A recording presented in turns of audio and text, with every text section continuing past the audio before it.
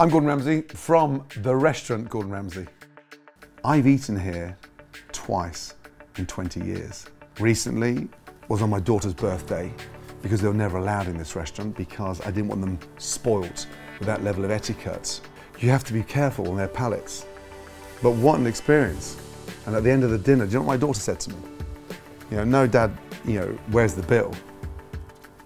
I get it. I understand that level of dedication. And it was just so nice hearing that from a teenager that really sort of closed that lid on that kind of why we do this.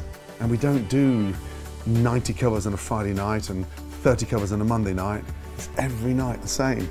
You know, it's 50 covers for dinner and 45 covers for lunch. 62 staff. That's an orchestra.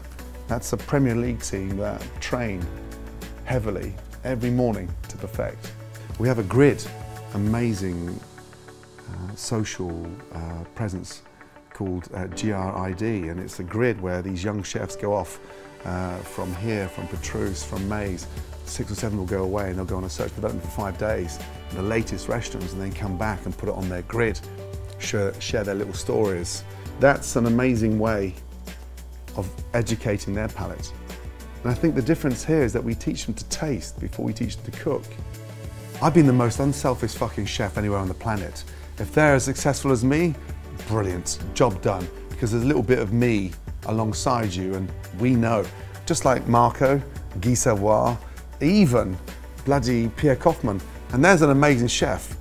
He was a fucker in here, let me tell you. He busted my ass. Marco, I mean, if you thought I was tough to work for, you should have stood alongside him. Did I complain about it? I never complained about it because I love what he taught me.